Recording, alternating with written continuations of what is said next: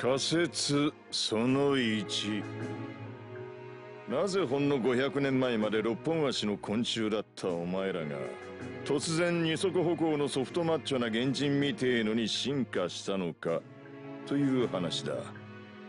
聞くか一応。いわゆる自然選択では絶対そんな風にはならない。外見の狂いっぷりもさることながら異常なまでの学習能力の高さとそして人間への攻撃性。明らかに人為的な変化が加わっている。バグズ2号の責任者アレクサンドル・グスタフ・ニュートン曰くテラフォーミング計画には先客がいる。ただしこの説は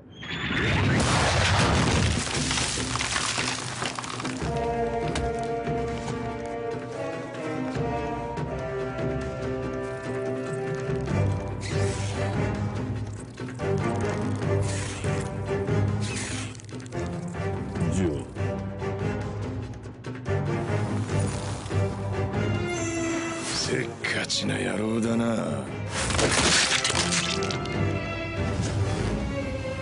それじゃあより簡潔に話してやる。